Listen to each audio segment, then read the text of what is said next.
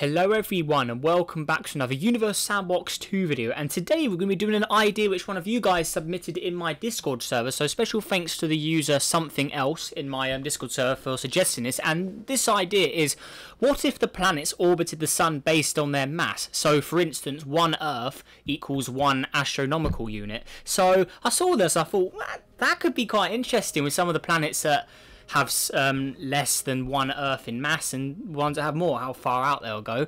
So yeah, we're just going to go ahead and start off with this. So Mercury here is the first object, obviously. So here it is. So for instance, Mercury right here has 0.05 Earths. So that means we're going to need to put its orbit at 0.05 AU, and we're gonna we're gonna see what sort of chaos will unfold here. So right, where can I do it from AU? Can I can I even I should be able to do it uh, here we go, semi-major axis. So I'm going to want to do that at, yeah, so 0 0.05. Oh, no, hang on, I wrote that wrong. Uh, 0 0.05, like that. So it'll put Mercury there.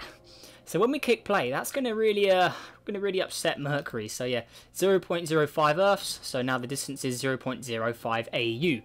So that's a lot closer than where it was before. So there we go. Right now Venus got the cool custom Venus here. So Venus is 0.8 moon or 0.8 Earth, sorry. So we're going to go ahead and do that with Venus. It'll be quite similar actually. It'll actually be pushing Venus further away, so 0.8.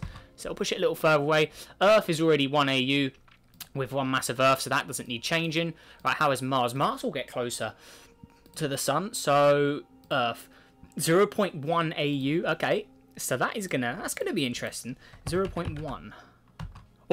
Oh, Mars, you're going to get roasted. Right, so there we go. I'm not going to do it with the any of the asteroid stuff. We will do it with Ceres, though.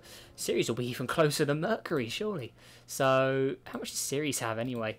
Ah, that's quite a lot of zeros. Okay, so 0 0.0001. Okay, right. So, right, there we go. So, 0 0.0001. Oh, damn. It's inside the sun. It's too close. That's getting destroyed straight away. Right, there we go. Right, Jupiter. How many Earths is Jupiter? That's going to sling... Yeah, 317 Earths. That's going to shoot Jupiter miles out. There we go. Oh, oh dear. That is... um. That's quite a far orbit. I mean, I don't know why it's gone like that, so we're going to have to do this. But that's quite a far away orbit at 300 and... Damn. Oh, the hang it changed. So, yeah, we want 3 set 317 like that. There we go, that's what it should be. So that's farther out than where Planet 9 is now. Damn. Okay, so moving on to Saturn next. So Saturn will probably also be kicked further out. So it could actually make the system more stable by pushing the gas giants out. So yeah, Saturn here is 95 Earths. So again, 95 AU. There we go. Does the same with Saturn. I think we just need to put more of these to 95. So there we go, that does it. But not nowhere near as far as Jupiter, though. I mean, Saturn's still within the, I guess, the solar system area. All right, Uranus, how are you doing? So Uranus should, I think Uranus will get closer, will it? Okay, so 14.5. And it, yeah, and it's 18.2, so we go 14.5. It actually makes Uranus a little closer, so maybe it'll warm it up a bit. And then Neptune as well. Neptune should be further away since it's 17. So, there we go. Oh, I don't know, it will be um, closer, sorry. So 17 AU. There we go. So Neptune is also closing in on the Sun as well. So they look like they're in the sort of area where Saturn would be. Actually, never mind. Saturn is closer than this object here. So they're still um, fairly far out. Right, next up is Pluto. So Pluto will definitely be having some changes here. So it'll be closer than Mercury. So 0.002. Okay. So for instance, orbital period here. So 0.002. So Pluto will be inside. Was it inside? The, yeah, it is inside. Okay, so Pluto will be destroyed as well. Okay, so is there any point of doing the other ones then? I mean, we could try Eris since it has got more mass. So Eris, for instance, has 0. uh, 0.02 as well. Okay, so there's no point because Eris will just be inside the sun. What about far? I know these won't weigh anything either. So okay, so the next object we could do is Planet Nine. Which, oh, actually, this is the last object we could do. So 10 Earths. So that will put Planet 9 at only 10 AU. So that'll make it within the orbit of Uranus, so actually making Planet 9 actually part of the solar system properly now. So that's the change now. So Jupiter is unbelievably far out with its 317 mass of Earth, so 317 AU away. Then we have Saturn here with um, 95 masses of Earth, so 95 AU. Then we go much further inwards here with Neptune, Uranus, and Planet 9 all within the uh, in between Saturn and Uranus area. And then back to the inner solar system, we all have all the inner planets that have um, changed as well. Mercury and Mars are super close. Venus is a little further out, and Earth is the same. So, okay, now moving on. I will save the simulation just in case anything goes wrong. So yeah, we'll just do this. Right, I'll just call it uh, mass equals AU, I guess. So there we go.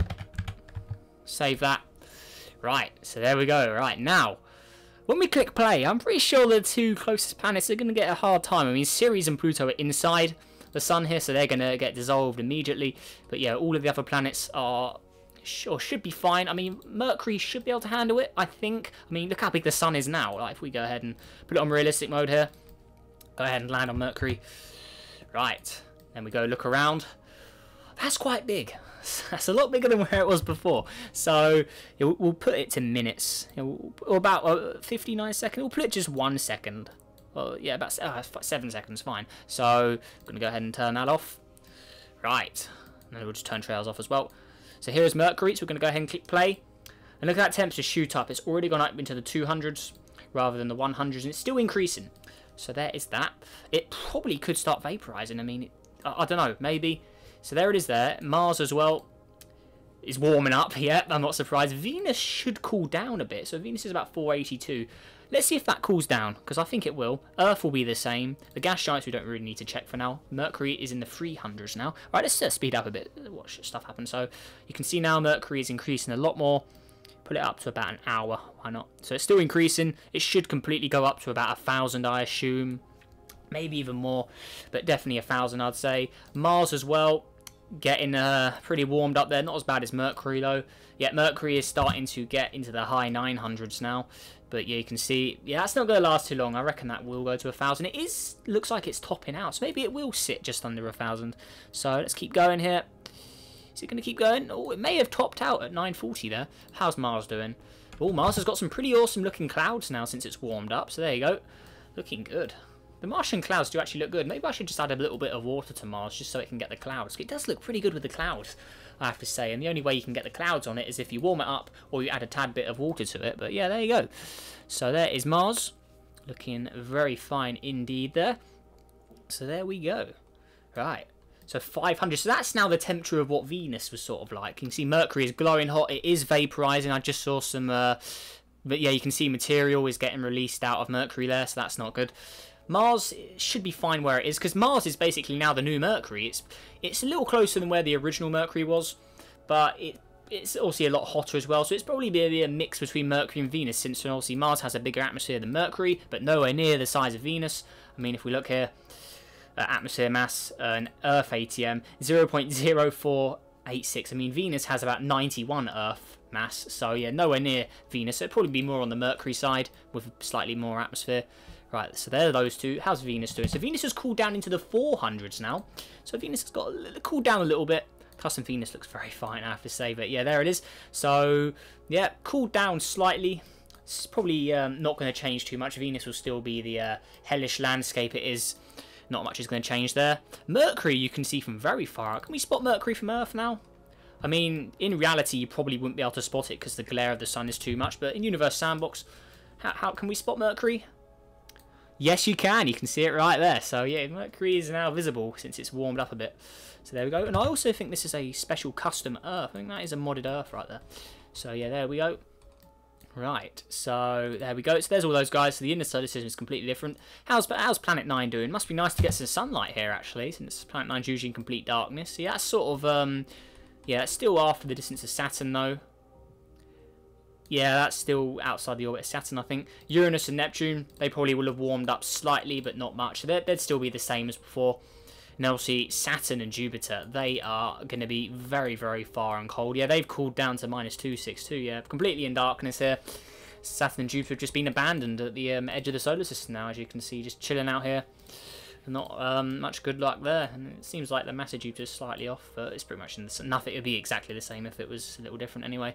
Just complete darkness there. Obviously, Pluto and Ceres got annihilated, so there's no point in doing any other objects because they'd all just fly into the sun. So um, yeah, there we go. So I guess we can uh, speed it up, see what the um, solar system looks like now. So um, oh, the click play first. There we go.